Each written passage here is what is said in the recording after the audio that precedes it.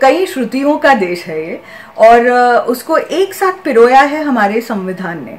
तो उस संविधान के तहत हम एक भारत, एकजुट भारत है। तो ये हमारा आई थिंक ये हमारी ज़िम्मेदारी है कि हम अच्छे लोगों को चुनें, ताकि जो भी नीतियाँ वो तय करते हैं, वो अच्छी ही होंगी, हमारे हित की होंगी।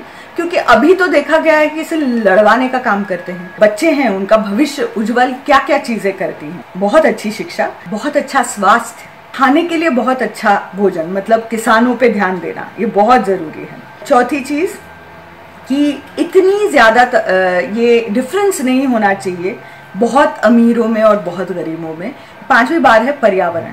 सो so, ये सारी जो बातें हैं ये अगर करने वाला कोई उम्मीदवार हो हम अच्छे लोगों को वोट दें।